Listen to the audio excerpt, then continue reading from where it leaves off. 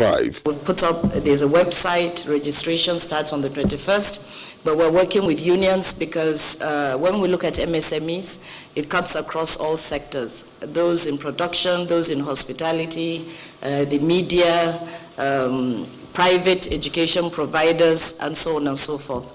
And then, of course, uh, we have on the other side the guaranteed off-take scheme, whereby we've identified nine priority items that we think uh, are being produced in most states the federal government believes that formalizing the largely informal sector of the economy by registering over 240,000 businesses and capturing them in the corporate register will go a long way in ensuring the real sector is protected from economic shocks occasioned by the pandemic.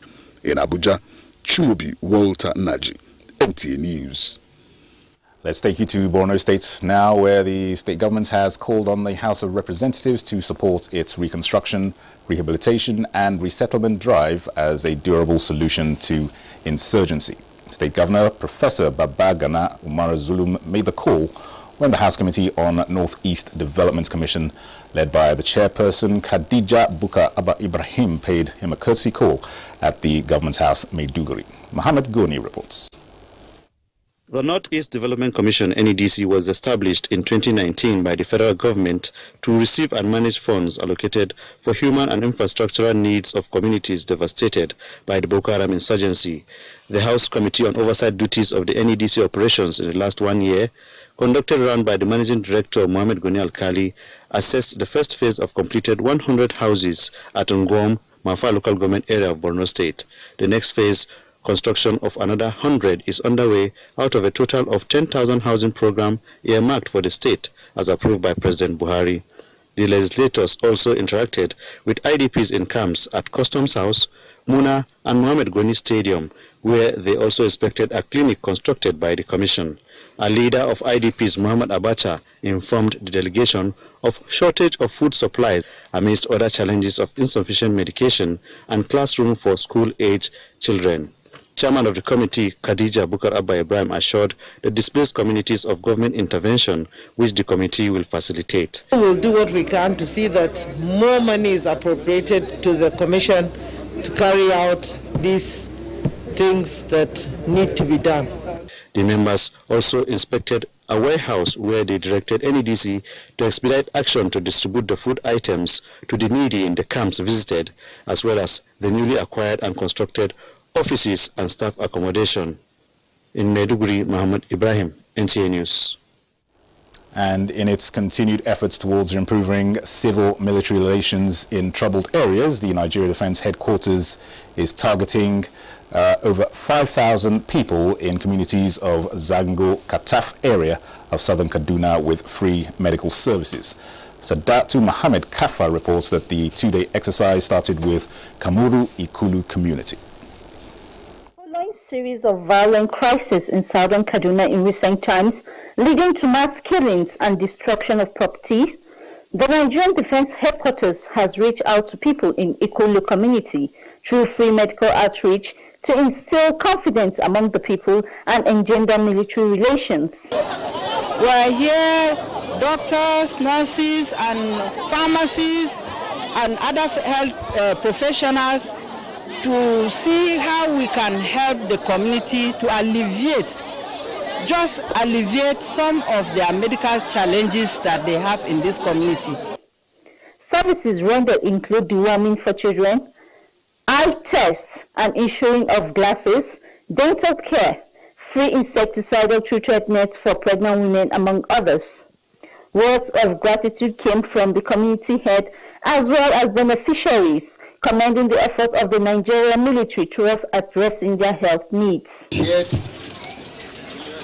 the defense headquarters for this good gesture, bringing a lot of people, materials to come and help our communities. We really appreciate it. I appreciate the military very well because what we did not expect, we saw it. Pray for the defense so that the work they are doing, God will help them as far as I'm a retired soldier. The free medical service, which will last for two days, is expected to cover 5,000 people within the community. From Ikulu community, Zango Kataf local government area of Kaduna State, Sa'adat Muhammad Kafa, NTA News. In the meantime, the armed forces of Nigeria have continued operations across the geopolitical zones of the country, uncovering criminal conspiracies and recovering weapons in the process. Defense correspondent Najat Atutijani has details of this or the week under review covering the 10th to the 17th of September 2020. In the period under review, in the Northwest Zone, troops of Operation Sahel Sanity acting on intelligence arrested a suspected illegal arms supplier with 890 rounds of the special ammunition concealed in his vehicle. Other items recovered include Nigerian police ID and the sum of 2,230 naira, Preliminary investigation revealed that the suspect is a major illegal arms dealer supplying bandits in the northwest. Similarly, troops conducting a stop and search operation in Gusau, Zamfara state, based on reliable intelligence, arrested one female and one male suspect with nine parcels containing substances suspected to be cannabis and other illicit hard drugs. The air component of Operation Hadarin also destroyed an armed bandit camp in Zamfara state. The airstrike was conducted as part of a new subsidiary operation codenamed Operation Wutandaji. In the northeastern zone, troops of Operation Lafiya Dole repelled two different terrorist attacks. In Yobe State, neutralization of four Boko Haram terrorists and ISWAP fighters, while seven of them were arrested. In the North Central Zone of Operation Whirl Stroke and Safe Haven conducted several clearance operations to identify bandit camps. In the South South Zone, troops of Operation Delta Safe and team from the Forward Operating Base Bonny immobilized an illegal refinery containing tanks filled with more than 307,000 liters of illegally refined AGO Najat Atutijani with that update. Now, Centers for Disease Control reverse controversial coronavirus testing guidelines as global confirmed cases now surpass 30.7 million. Justin Bemunyi gives us an update on the pandemic. The Centers for Disease Control and Prevention reversed the controversial coronavirus testing guidance that said people who were exposed to an infected person but weren't showing any symptoms did not necessarily need a test. The new guidance says that people without symptoms who have been in close contact with an infected person need a test. Many public health specialists criticized the CDC's change in testing guidance in August for appearing to downplay the significance of testing people who don't have symptoms but who might be spreading the virus. And from the United Kingdom, Prime Minister Boris Johnson is spending the weekend considering whether to tighten COVID-19 measures in England after saying the UK was now seeing a second wave. The government is understood to be looking at a ban on households mixing and reducing opening hours for pubs. At least 13.7 million people, roughly one in five, of the UK population are already facing local restrictions. Former government advisor Professor Neil Ferguson said new measures were needed sooner rather than later. In the meantime, global cases of the coronavirus have now crossed 30.7 million as new infection rates remain stubbornly high in some countries and show early signs of resurgence in others. The US, India and Brazil hold the highest national case tallies. Together, three countries account for over half of all reported global infections. The dramatic benchmark comes as experts warn of uh, difficult fall and winter seasons ahead. Having a look at statistics released on Worldometer as at 6 p.m., confirmed global cases of coronavirus stood at 30,775,664. Out of these number, 957,676 were deaths and 22,408,990 were recoveries. And for a glimpse of the coronavirus in Africa tracker, 1,390,511 was a record for confirmed cases with 33,622 deaths and 1,140,000 517 recoveries. This is just as the Nigeria Center for Disease Control and CDC says Nigeria has so far recorded 56,956 confirmed cases with 1,094 deaths and 48,305 recoveries. This is where the update ends. Thank you for watching.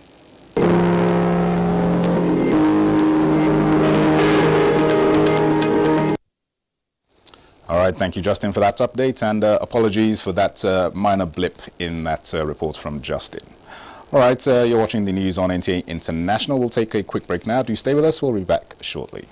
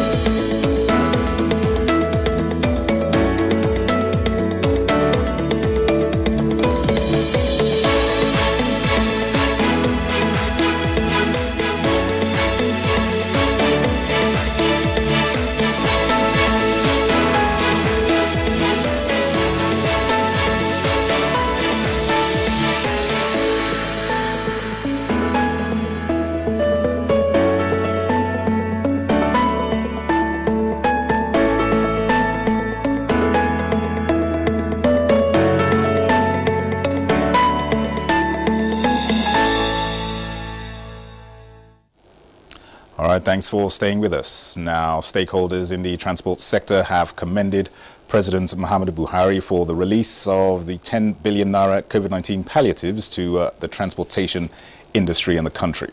Kelvin Samuel reports that they are, however, hopeful that the funds will be judiciously distributed to relevant transporters for desired benefits to be actualized. The outbreak of COVID-19 caused untold hardship on citizens across the country as it grounded all sectors of the economy by shutting down people's means of livelihood, leading to the introduction of the unexpected new normals. To ensure that the people are properly positioned for the economic recovery in the post-COVID-19 era, federal government of Nigeria has been making available policies as well as palliative that will help the quick recovery of the economy. One of such is the release of a 10 billion naira COVID-19 palliative to the Ministry of Transport, a gesture which is considered a welcome development by stakeholders in the sector. We appreciate and the money will go a long way. At least will will bring our union up. Uh, we appreciate the President of the Federal Republic of Nigeria on this kind of gesture period of pandemic has caused serious setback to the economy of this country and the transport sector in particular, which is the life wire of any, any state economy. Minister of State Transportation, Senator Gbemisola Saraki, had in a meeting with the President, National Union of Road Transport Workers, Professor Tajuddin Lawal, assured that the ministry has constituted a committee that will ensure transparency in the disbursement of the fund in Uyo. Kevin Samuel, NTA News. All right, to other news now, and some communities in Sapele local government area of Delta State have raised an alarm over the environmental pollution caused by alleged damage to oil pipelines in their areas. Thelma Eliogu reports that residents are calling for justice from the concerned authorities. Weeks after the oil spill from an alleged damaged pipeline belonging to Seplat Petroleum Development Company, residents in Maka Street off Shell Road, opposite the Mechanic Village in Sapele, say their lives are in danger as a result of the water pollution. They claim some elements of hydrocarbon are in their shallow wells, which waters are now oily and black. There was presence of hydrocarbons in the in the shallow well in the compound, and the water has become uh, very polluted and can no longer be used for domestic purposes. More than a month now, we don't have water. At a time, they do give us canned waters to drink, and we've been using that. But water for the normal domestic things, we don't have it. We don't have water to bathe, no water to wash clothes. The residents and business owners in the area appeal for government's intervention. According to them, the oil firm has shown minimal interest in effecting necessary cleanup and compensation. Water is very essential and we are calling on federal government to come into our rescue to, to assist us to talk to Seplat so that they can act on time because we are not safe. Chairman Sapele Okpe Community Development, Dr. Patrick Akamaba, said the community has held several meetings with the firm with a view to finding solutions to the problem. Uh, your host community, you found oil in uh, wells, dug out wells. It cuts the demand. It doesn't take anything from you. Look at that. you can send relief materials like bottled waters, or you know what uh, into bringing tanks where you can give them water at least. That's very thing that was affected. Let there be alternative for them to get water. Meanwhile, efforts to speak with the management of Seplat Oil Firm proved abortive. In Sapele, Thelma Eliok, NTA News. And as the rainy season intensifies with its attendant consequences of flooding, the National Emergency Management Agency, NEMA, has taken its 2020 flood mitigation response and recovery advocacy to Yobe State to avert loss of lives and property. Director General of the agency said considering this year's seasonal rainfall prediction and the annual flood outlook, it has become imperative for government to evolve strategies to minimize further losses. Yunusa Suleiman reports. Out flooding in Nigeria believed to be one of the major phenomena that is threatening the existence of many communities across the Federation, despite efforts by relevant authorities and other stakeholders in sensitizing the populace on the need to adopt measures to mitigate and control the disaster. Available statistics obtained indicated that in Yobe State this year, the flood disaster has claimed nine lives and destroyed many communities in 16 out of the 70 local government areas of the state. In a bid to strengthen collaboration and partnership in combating the annual disaster, the Director General of NEMA, Muhammadu Muhammad, was in Yobe State on an advocacy visit for government in the state to key into the 2020 National Flood Mitigation, Response and Recovery Drive. This year, the highly probable flood risk areas in Yobe State include Gaidam, Bade, Bursari, Karasuwa, uh, Yusufari, Yusufari, local government areas. Your Excellency, in view of the foregoing, I wish to request the state government to kindly take proactive and necessary mitigating measures in addressing these issues. Governor Mai Mala Buni, represented, said at the onset of this year's rainy season, government, through the State Environmental Protection Agency, had evacuated and cleared drainages and waterways in flood high-risk local government areas, and this was in addition to the construction of waterways in towns and villages as part of measures put in place to control flooding in the state. The state government has been doing this. In fact, as part of the effort of state government to contain this flood, the government approved the appointment of local government sanitation committee in each of the 17 local governments. One of the major responsibilities of this committee are to clear the drainages so that allow free flow of rainwater, at least to certain within the major towns and the other towns. Highlight of the advocacy visit was the presentation of documents containing the 2020 seasonal rainfall prediction and the annual flood outlook to the state governor and the executive secretary of the State Emergency Management Agency for scrutiny and adoption. In Damaturu, Yunusa Suleiman, NTA News. Now, a three-story building belonging to Excel College in Lagos has collapsed. A report says the building collapsed in the early hours of Saturday. Information gathered from officials of the school revealed that the building had previously shown signs of distress and the school was planning to renovate and refortify the structure. The three-story building has two wings conjoined. The wing that collapsed has seriously affected the second wing as visible cracks can be seen on the wall's pillars and decking. Fortunately, no casualty has been recorded during the incidents. Emergency responders have recovered a dead body from the multiple road accidents which occurred at Anthony Inward Gbagada in Lagos. Reports indicate that residents are lamenting that accidents are now becoming a weekly affair in the area. Now, Minister of Sports uh, says uh, Nigeria's sports policy is aimed at improving economic empowerment of Nigerians. Gift George is our guide on Sports Update.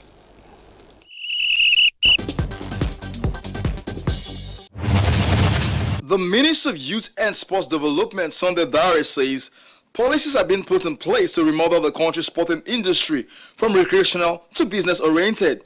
Speaking to newsmen in Lagos, the minister maintained that the country has to emulate other nations who have used sports to ensure economic empowerment of their populace through private sector partnership. What I've done is to accelerate that process towards developing a business model around our sports so that this country can also try and try to reap from sports as business. Nigeria Olympic Committee has joined the rest of the world to mark World Cleanup Day in Lagos.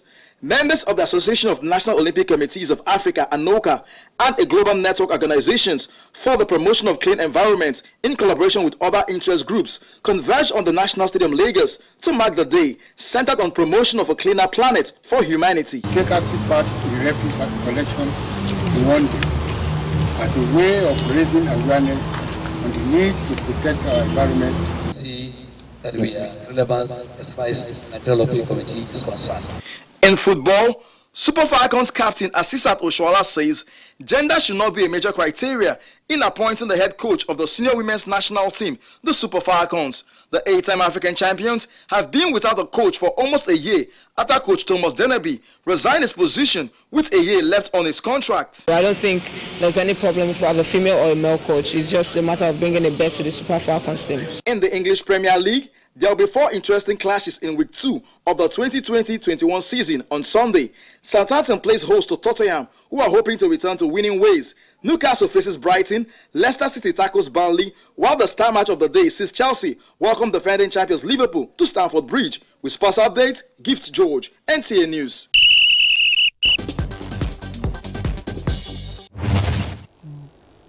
And that concludes the news at this hour on NTA International. Many thanks for watching. Remember to connect with the NTA and stand against rape and a rapist's be a star. I am Dennis at Digunloye.